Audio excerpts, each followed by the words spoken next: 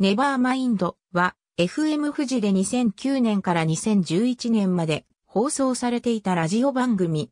前日まで9年間放送されていたラジカルリーグを引き継ぐ形として2009年4月1日よりスタート。東京、代々木にあるスタジオビビットから生放送され、5組のパーソナリティが日替わりで出演。リスナー参加型コーナーなどのほか、22時台にはゲストも連日出演していた。なお、各曜日に毎回異なるテーマが設定され、テーマは番組内で発表されていた。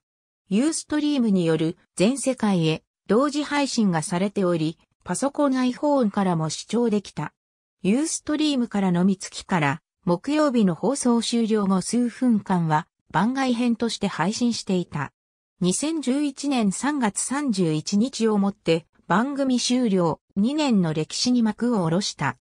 月曜日、タイムマシーン3号の代々木マンデーズ火曜日、マシンガンズのミラクルボーイミラクルガールマシンガンズの過激なトークと参加型コーナーが満載のほか、太田プロダクション所属の若手芸人も出演。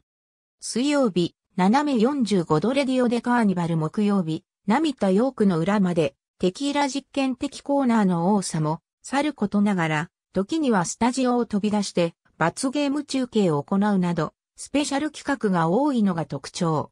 金曜日、神奈川 IQ のギャラクティカゴールデンボール月曜日、清水博士の9時からの場外乱闘明日のことはここで、ドゥ。ありがとうございます。